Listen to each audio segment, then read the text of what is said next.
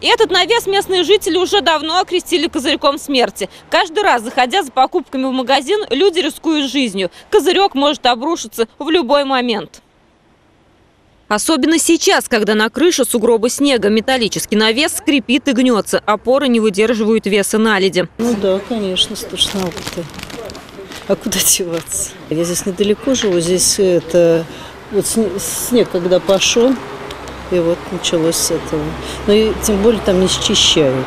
Страшно. Страшно? Страшно, конечно. Ну, не Но мы думаем, что руководство все-таки что-то предпринят. Руководство тем временем предпринимать меры не торопится. Администратор магазина рассказывает, и сама уже два года ходит на работу, как в последний раз. И собственник об этом знает. И знает, что все, когда идет до лавины, что крыша скоро рухнет.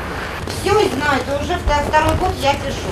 Эти опасения преувеличены, утверждает внезапно появившийся мужчина. Он представляется завхозом и доверенным лицом собственника. Отвечать на вопросы отказывается. исследования для того, чтобы вот поэтому определили, что крыша в данный момент не обвалится.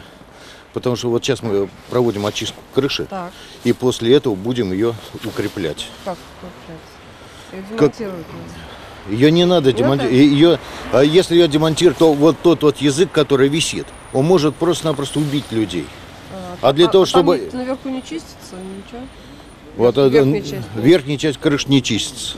На ненадежную конструкцию обратили внимание специалисты Общероссийского народного фронта. По словам эксперта, просто почистить снег – не выход. Навес нужно демонтировать и строить такой, чтобы мог выдержать любой снегопад. Непрофлист, он уже сломанный, уже несколько лет.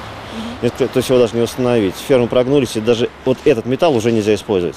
Сейчас нужно вещи а, блокировать, закрывать доступ сюда, да, то есть э, усиливать, а, потому что авария должна уже быть в любой момент. Есть Уже должна даже сейчас быть, да, при нас. И очень не хотелось бы этого.